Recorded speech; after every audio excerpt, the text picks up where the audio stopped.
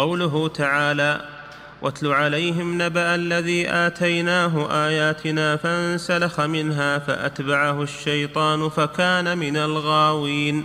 نعم هذا رجل عالم من بني إسرائيل الذي آتيناه آياتنا عالم من بني إسرائيل وكان مجاب الدعوة لأنه عرف الاسم الأعظم اسم الله الأعظم الذي إذا دعي به أجاب. فكان عابدا وكان عالما وكان مجاب الدعوة. يقال له بلعام بلعام بن باعورة. فلما غزا موسى عليه السلام وبنو إسرائيل غزوا بيت المقدس. يريدون فتحه واستعادته من أيدي المشركين من الكنعانيين والعماليق. جاءوا إلى أبو العام جاء جاء اليهود أو جاء الذين العدو الذين غزاهم موسى جاءوا إلى أبو العام هذا العالم خشوا من المسلمين خشوا من موسى عليه السلام.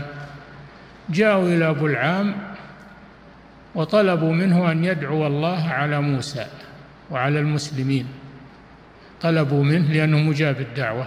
فأبى في الأول تلكى وأبى ثم ألحوا عليه ألحوا عليه أو يمكن أعطوه شيء من المال.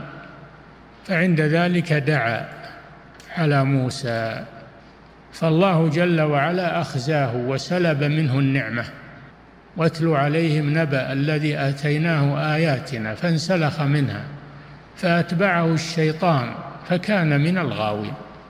ولو شئنا لرفعناه بها يعني بالآيات ولكنه أخلد إلى الأرض.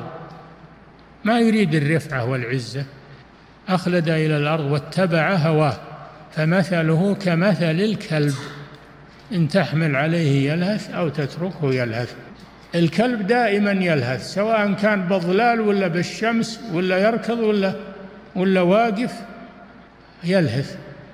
فشبه الله هذا الرجل بالكلب والعياذ بالله أخس الحيوانات مع أنه كان عالما وكان لكن لما أنه انسلخ من آيات الله سلخه الله عز وجل.